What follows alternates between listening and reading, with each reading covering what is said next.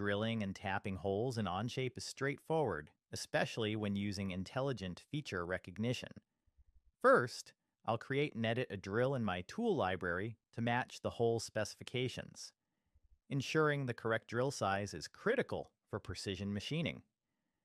Next, I'll use this drill to create a hole-making toolpath. Selecting the appropriate drilling operation ensures the toolpath follows the intended geometry. Now let's preview the toolpath and verify that everything looks correct.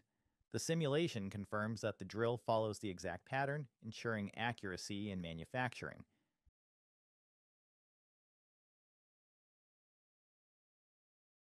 As a bonus, I discovered that this model wasn't originally created using Onshape's hole feature. It was simply an extruded cut.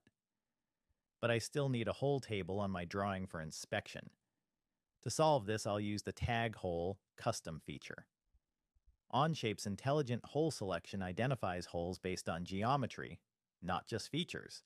So even though these weren't created with the hole tool, Onshape treats them as standard holes.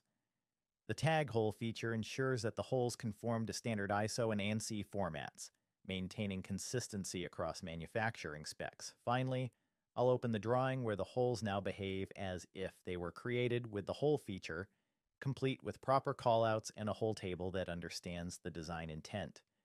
This workflow makes Onshape incredibly flexible even when working with imported or non-standard geometry,